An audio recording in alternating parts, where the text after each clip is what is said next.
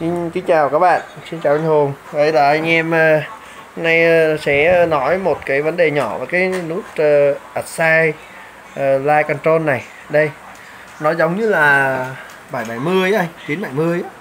Thì ở đây em nói sơ một số cái nha. Đầu tiên là cái filter anh giỏi tiếng Anh biết mà, nó sẽ lọc, nó sẽ lọc cái âm này. Nó lọc cái tiếng âm lại. Đó, nó nó đây là tối này, sáng này. Còn ở bên tay phải của nó là cái effect tức là reverse á. Ừ. reverse là là nó vang á. Rồi, cái này rồi. anh hiểu rồi. Này vang. Mắt này đó. Đó rồi từ tiếp tục như vậy đó, anh bấm cái tiếp này. Đó, anh bấm cái này. Đó thì nó sẽ di chuyển xuống số 2 Ừ. hoặc là anh dùng cái con chuột anh di chuyển được ha. Ừ. đây này anh di chuyển đây cũng được ha. Đó đây là bờ lăng. Roi 1 roi 2 tức là Ừ. tiếng 1 tiếng 2 ở đây ha. Đó thấy không? Đó đây là bờ lăng. Cái trái á cái trái là bờ răng của tiếng số 1 Ừ. Rai 1 đó cái phải á, cái bên này á, là cổ số 2 đó, đó nó sẽ lên xuống này anh. Ừ. nhìn thấy không? Đó mình chỉnh này.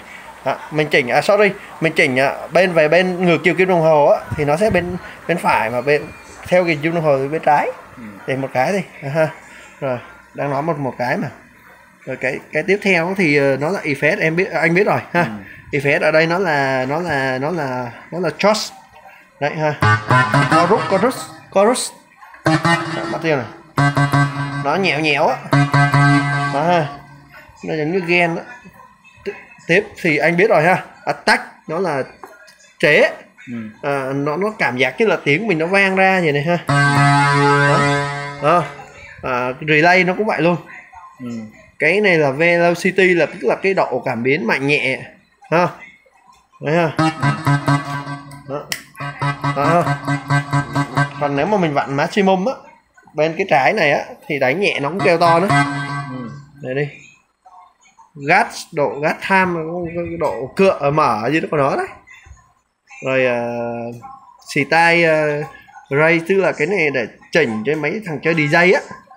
Ví dụ như nó chơi ờ, DJ thì nó sẽ dùng cái chức năng đó hoặc em chơi ờ, cha cha hải ngoại đây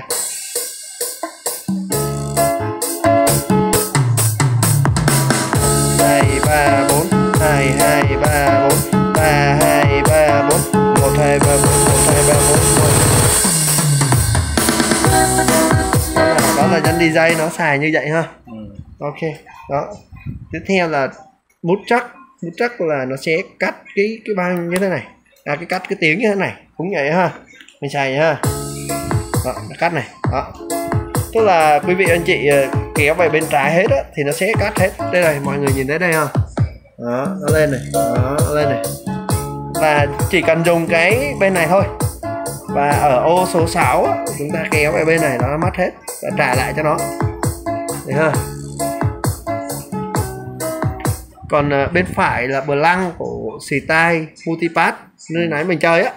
Ví dụ như cái xì tai này. Đó bờ lăng này. đó không? Đó không? Này, thấy không? Và multipath này. Đó. Multipath là cái cái cái gõ này. Nếu mà mình vặn nó vặn nó, mình nhớ vặn nó về bên ờ, vặn về bên trái á thì nó không kêu nữa đó, về bên phải là cái nó lên này. Đó. cái ờ, tiếp theo là filter voice ờ, voice style tức là nó nó sẽ là master cả ba cái một lúc luôn là cả được cả voice cả style luôn. Đó. Tối đi. Sáng ra. Đó vặn cái trái này. Đó. rồi. Cái phải là reverse ha. Tai mà có reverse nghe hơi bẩn nghe hơi bẩn nghe hơi ghê đó ghê quá. Không cần cái cái này cho không cần nữa.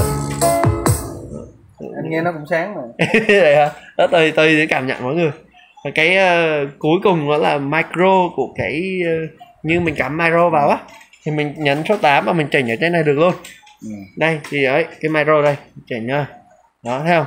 To nhỏ này ha. Ừ. là cái cái trái là micro còn cái phải á là AUX AUX giống như cổng xe hơi của anh vậy đó. Ừ. nó là cắm để cắm cái điện thoại vô.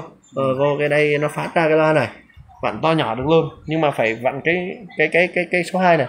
Vặn số 2 này. Ví dụ như to ở đây nhỏ ở đây. Ừ. vậy thôi nó rất là đơn giản. Nó gọi là gán chức năng cho nó thôi. Ok nó rất là đơn giản vậy thôi. Đó là cái chức năng về cái hai cái nút là light control aside đó. Nói chung là mỗi cái em nghĩ là phải chia đều ra nói chứ nói một lúc loạn quạng lên nó, nó không nhớ nổi. Rồi cảm ơn anh cảm ơn các bạn. Subscribe kênh mình nha.